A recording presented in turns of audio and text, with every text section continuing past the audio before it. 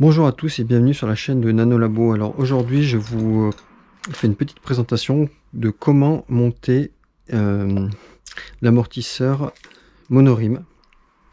Donc cet amortisseur m'a été donné par le site Whatiz que je remercie grandement. Je vous mets le lien en description. Je vous dis aussi que du coup on a un code promo qui est Nanolabo. Quand vous le tapez, ça vous permet d'avoir 10% de réduction sur le matériel que vous achetez.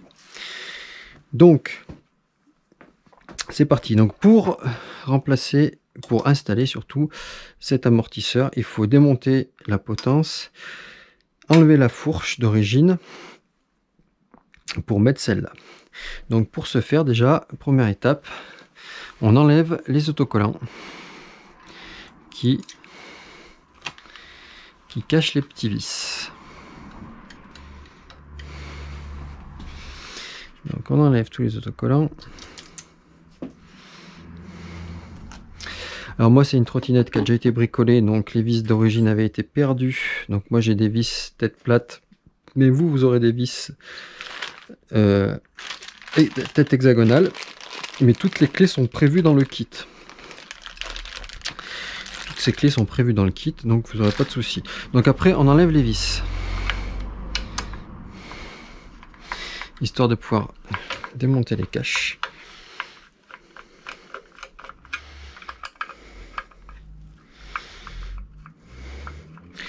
Donc je suis désolé si vous entendez des bruits externes, hein. je suis dans mon garage, la rue est juste derrière la porte. Donc du coup, ça fait pas mal de bruit.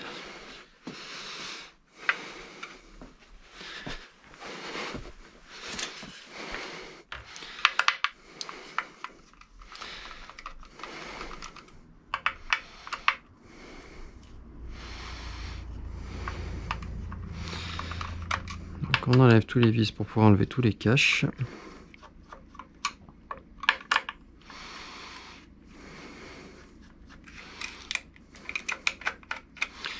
attention de ne pas les perdre.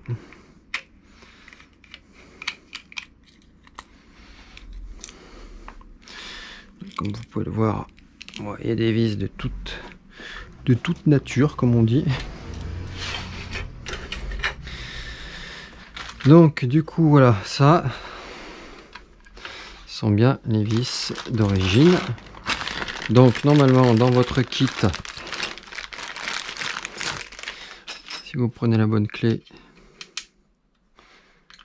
c'est pas celle-là, vous n'aurez pas de souci pour enlever tous ces vis. ils ont déjà une mauvaise tête. Alors j'enlève ça aussi. Pourquoi? Pour avoir un meilleur accès à l'écrou. Parce que d'origine, les écrous sont collés. Et du coup, il faut une bonne prise de l'écrou pour pouvoir le décoller. Alors vous pouvez aussi le chauffer.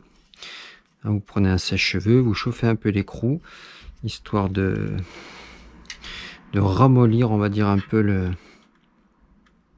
la colle hein, qui est dessus. C'est du loctite.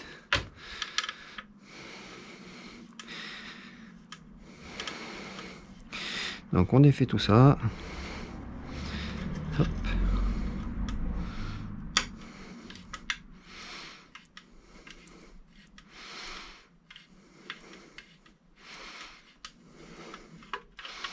Je vais les mettre là, les vis. Alors là, forcément, c'est encore autre chose. Euh,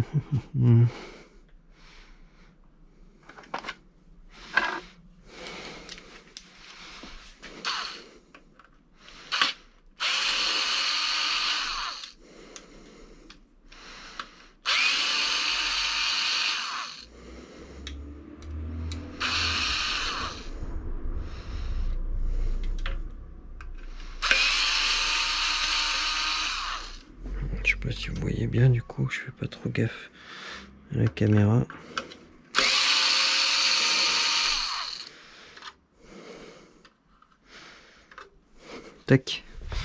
ok Donc, et après vous prenez une clé alors moi euh, les écrous sont déjà défaits je vous conseille de prendre une bonne clé du bon matériel, histoire d'être sûr de ne pas abîmer l'écrou. Moi, elle a déjà été démontée, donc normalement, je devrais pas avoir trop de soucis à défaire. Mais d'origine, c'est très très dur. Parce que, comme je vous dis, c'est collé. Donc, je vous conseille de prendre une bonne clé de bonne marque avec une bonne emprise, histoire de ne pas abîmer votre écrou. Parce que si quand il est abîmé, après c'est foutu. Enfin, c'est pas foutu, mais c'est beaucoup plus compliqué quoi.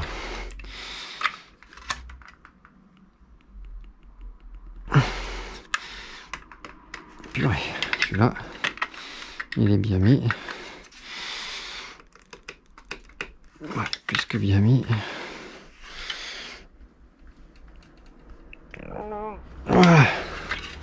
Ok. Donc sur la version... attendez, je suis en train de voir. Je mets comme ça, vous voyez pas tout. Je vais baisser un peu la caméra. Histoire d'essayer de faire en sorte d'être plus centré sur ce qu'on va à voir. On verra bien ce que ça donne. Donc on défait ces écrous. Une fois qu'ils sont un peu défaits, le moteur s'enlève. Alors moi tous des mioles parce que, hein, comme je vous dis, elle, avait, a déjà été pas mal bricolée cette trottinette. Elle avait eu des gros problèmes. Et du coup tous des mioles. Vous normalement, ça devrait pas être le cas. Hop. Donc le moteur, on le met de côté. Mettre bien à plat pour pas qu'il tombe. Et on commence à avoir accès à certaines choses. Donc, comme on a dit, il faut démonter la potence. Donc pour ça, pareil. Hop, on l'ouvre.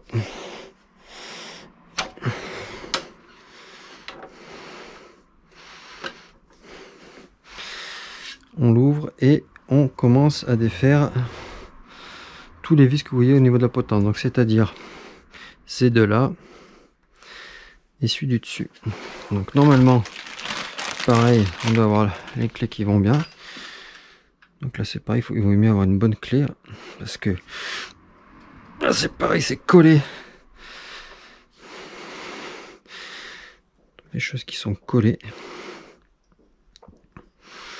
Donc on défait. Donc si vous avez des meilleures clés plus grandes, vous forcerez moins.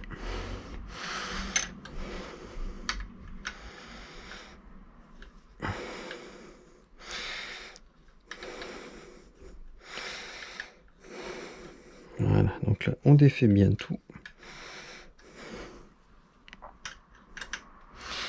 Histoire que ça respire.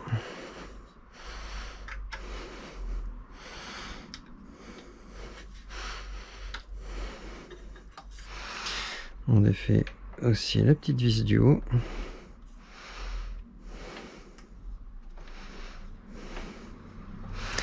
Et là, normalement, on doit pouvoir commencer. Je sais pas comment elle est longue. Mais c'est de la défaire entièrement. On voit bien le loctite.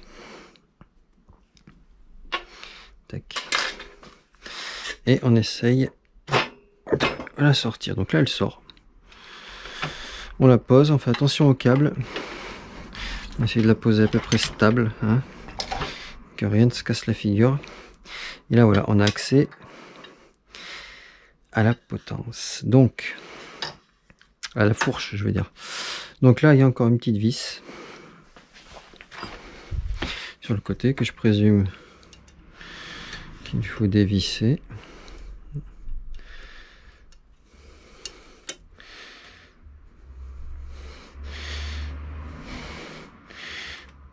Hop. C'est une petite sécurité pour pas que qu'elle tombe, je pense.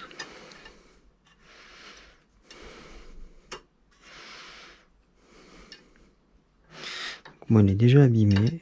Je pense que ça aussi, ça a déjà été gratté. Hop. Donc on la met de côté. Ça nous permet d'enlever ce plastique en premier, le plastique.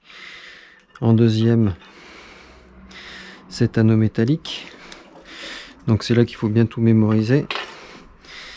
Et normalement, en tapotant sur la fourche, elle sort. Donc, en bas, vous avez un petit roulement qui est bien graissé. Et en haut aussi, normalement. Donc cette fourche, on n'en a plus besoin. On la pose ici. Ici, vous avez des séries de plastique. Un petit plastique comme ça avec une bague. Et le deuxième roulement. Donc à la limite, ces, roulements, si votre trottinette n'est pas vieille, vous pouvez les laisser.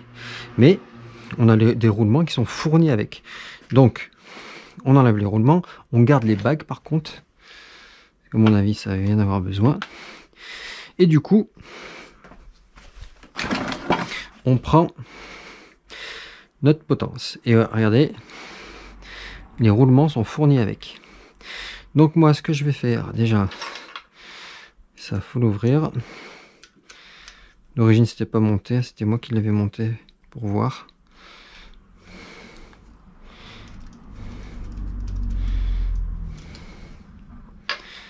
Donc d'origine, il n'y a pas ça. Ça, ça s'enlève. Avec les entretoises qu'il faut faire attention de ne pas perdre. Voilà. Donc, on récupère les entretoises, hein, très important. D'origine, tout ça, c'est dans un petit sachet.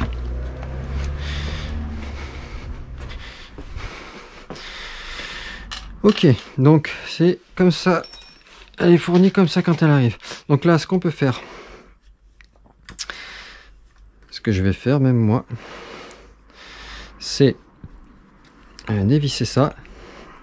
Je le mets parce que je vais graisser mon ressort qui est dedans. Donc on défait ça.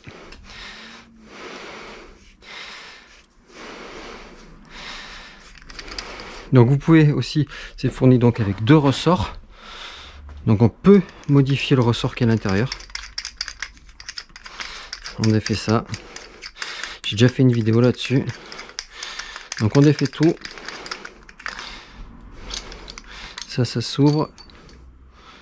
Hop.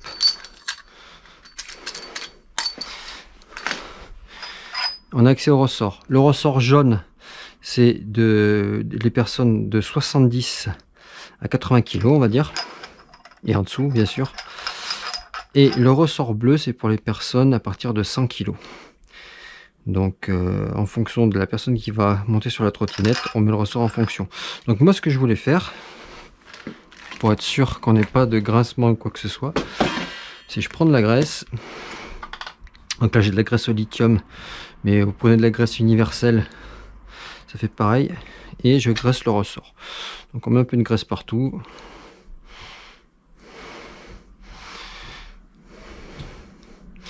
Partout, partout.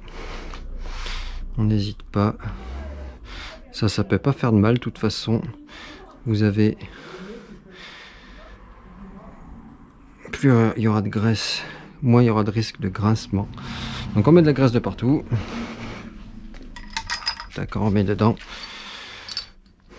Et on s'essuie les mains.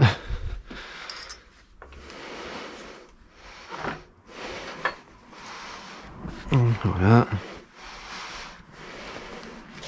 Et ça déjà c'est une bonne chose de fait. Après c'est pareil, on graissera bien les roulements pour être sûr ils sont déjà graissés d'origine, hein, ça se voit.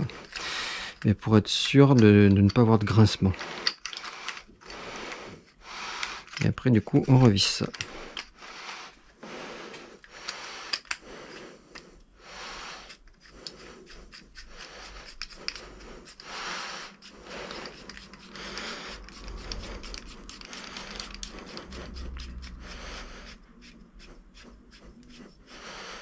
Donc ça on peut bien le visser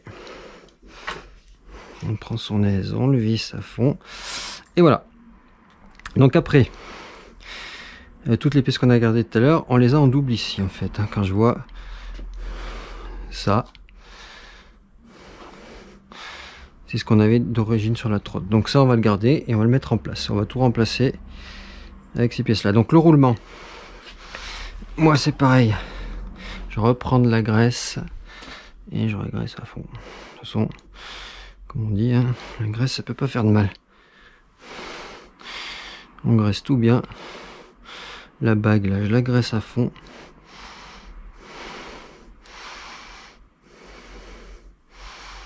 Et voilà. La graisse du bas, la, la graisse du bas, la bague du bas, pareil. Je mets de la graisse. Et voilà. Donc après, on regarde comment ça se place. Ça se place comme ça. Ok. Et ça, du coup, ça vient en lieu et place de l'autre fourche. Tac. Et en haut, du coup, pareil, on remet la bague avec tout le système. Je vais mettre un peu de graisse.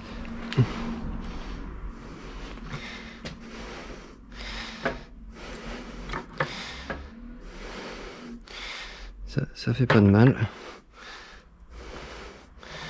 Et on met tout en place. Voilà. Donc après, on met les roulements, le morceau qui tient la bague et la petite cale en plus. Et là, petit à petit, ça va se caler. Donc, on s'essuie les mains parce qu'on est plein de graisse, forcément.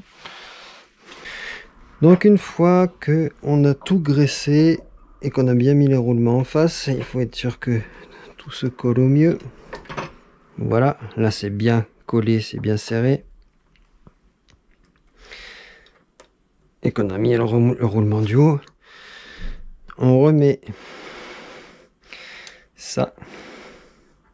Donc ça en fait c'est ce qui permet, cette bague là, de donner un... de ne pas pouvoir trop tourner. Il y a une petite bague qui tape de chaque côté qui fait qu'on peut pas trop tourner. Ça, le petit cache en plastique. Ok, et là on peut rabattre ça. La partie du haut. Tac. Voilà. Et une fois que la partie du haut est rabattue, on peut mettre ça pour caler deux secondes. Ça tient tout seul, c'est magnifique. Tac, tac. On récupère les entretoises.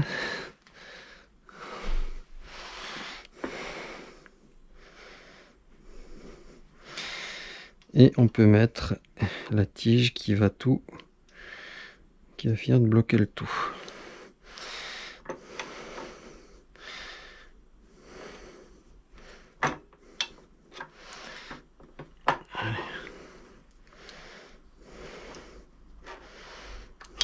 Tac, on se met en face. On fait descendre un peu le tout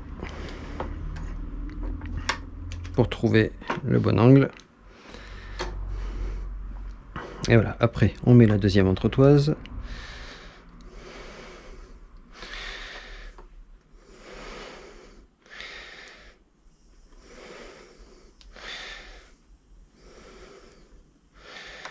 Ok. On vise pour tout passe en face. Voilà. Et là c'est ok. Là on peut remettre le petit vis sur le côté.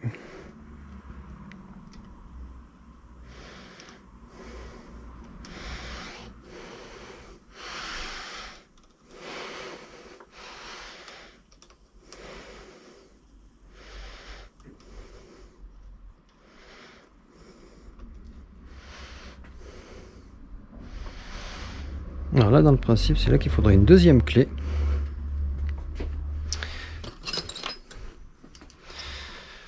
donc du coup qui est pas fourni avec pour pouvoir serrer un peu le tout.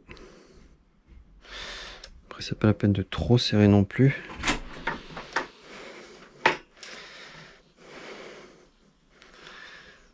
On serre au maximum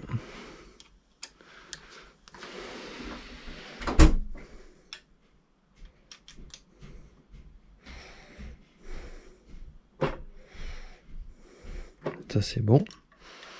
Je vérifie les serrages. ça c'est bon. Tous les serrages d'origine sont bons. Donc là, on descend ça au maximum. Et après, de toute façon, quand on mettra la potence, c'est elle qui appuiera dessus. Et avec le vis, on remontera le tout. Donc, on remet, on remet, remet. Qu'est-ce que j'en ai fait? Le petit vis.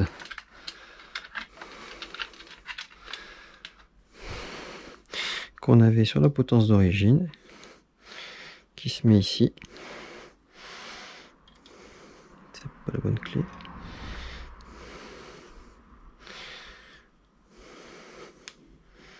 donc on le remet en place c'est un petit vis qui est de sécurité, je pense, pour pas que la potence du bas tombe.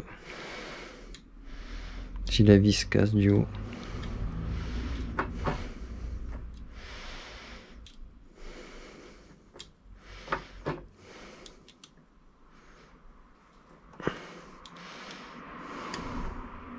Voilà, ça c'est en place. Et du coup, on va, alors il y avait un vis qui était fourni avec, ah non, c'est sur l'autre. Euh, donc du coup, on va se resservir de ce vis. Tac, tac, tac. Donc on remet la potence. Je vais essayer de l'accrocher. Voilà. Donc on essaie de la mettre dedans. On va y aller. On remet ce vis là, bien sûr. Et c'est lui qui va donner, qui va faire que qu'elle va remonter la potence et qu'il n'y ait pas de jeu. Donc c'est avec ça aussi qu'on il va falloir qu'on regarde pour commencer de centrer euh, votre potence sur l'amortisseur bien sûr. Parce que si vous montez votre potence de travers, euh, forcément ça va pas être top. Donc là, on regarde, on met la potence le plus droit possible. Et on regarde.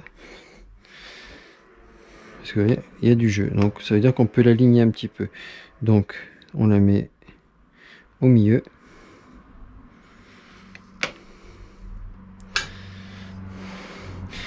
et après on serre donc on serre celui-là celui-là c'est ce qui donne la dureté euh, de direction en fait.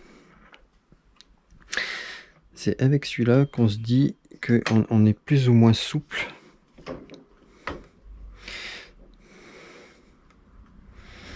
Donc là, c'est relativement souple. Je vais le serrer un peu plus. Et après, le,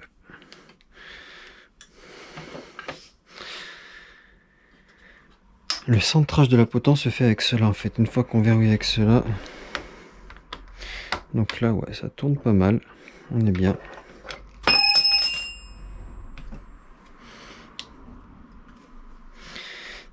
C'est là qu'on essaye de s'aligner au mieux. Donc là, je, je, me sens bien aligné. Et on commence à serrer ces vis là. C'est ce qui va tout serrer.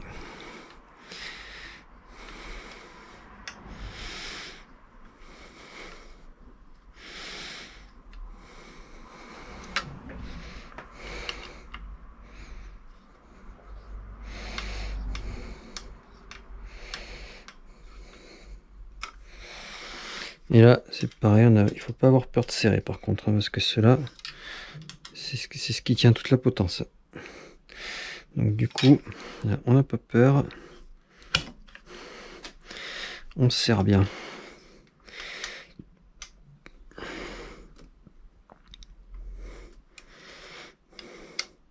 Le top, c'est même de remettre un peu de loctite si vous en avez. Vous mettez une goutte de loctite et vous serrez.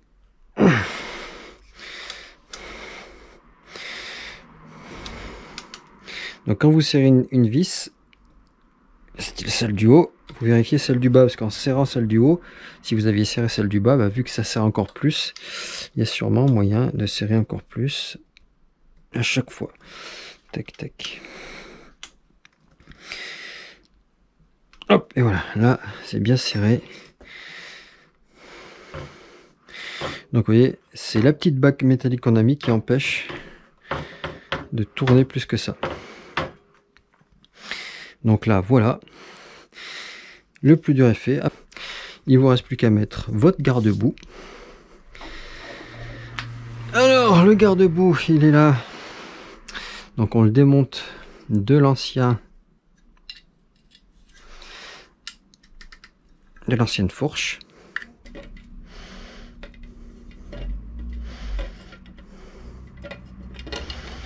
Donc on défait tout.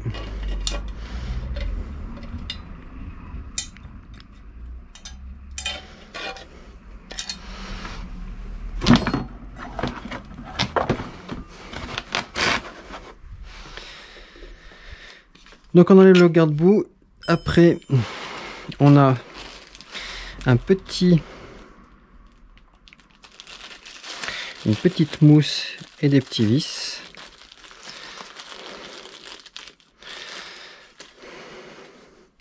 Donc autocollant. Donc on enlève les autocollants. On colle la mousse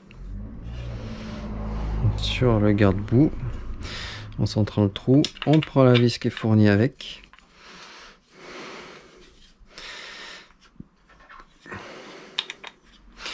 On prend la clé qui va bien. Et on visse. Ce que je vais faire, je vais reprendre la rondelle qui était sur l'ancien vis histoire d'avoir ah, on peut pas. Bon. du coup on met pas la rondelle.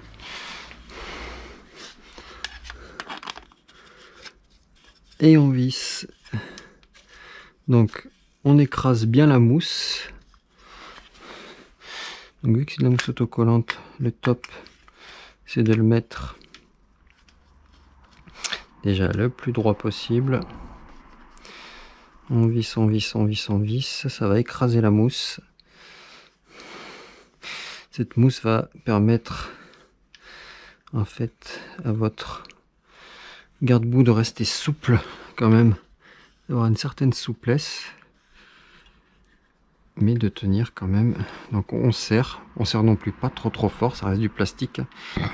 Dès qu'on sent une force, on arrête. De toute façon, votre garde-boue, il va pas bouger. on serre encore un peu.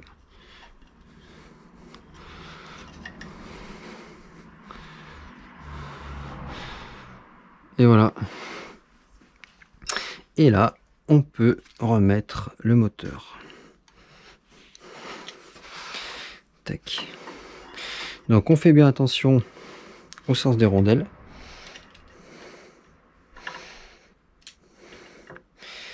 le petit ergot vers le bas. On monte bien le moteur à fond, on tient bien en haut, on serre un peu la main.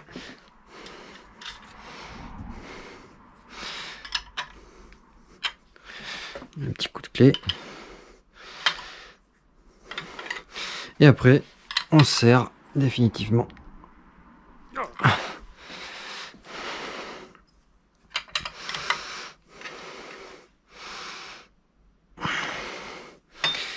Et voilà, après, on remet les caches.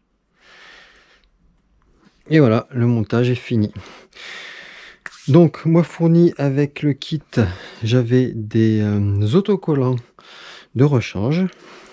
Donc, au cas où que vous abîmez vos autocollants, vous avez des, des autocollants de rechange. Et voilà, donc là, vous avez une garde quand même même pour la roue qui est quand même assez euh, impressionnante quoi. Là je pourrais, pourrais pas le faire bouger à la main mais euh, on va faire le test de cet amortisseur, voir ce que ça donne. Je vous ferai une vidéo dessus. Donc pour cette vidéo on va s'arrêter là. Je remercie encore une fois le site Whatis euh, qui m'a fourni cette pièce pour faire une vidéo de montage. Si vous avez des questions, n'hésitez pas, posez-moi vos questions. Euh, n'hésitez pas à vous abonner à ma chaîne pour voir mes futures vidéos de montage de pièces. Euh, posez-moi donc vos questions, abonnez-vous à ma chaîne. Et voilà, je vous dis à une prochaine fois sur la chaîne de Nano Labo.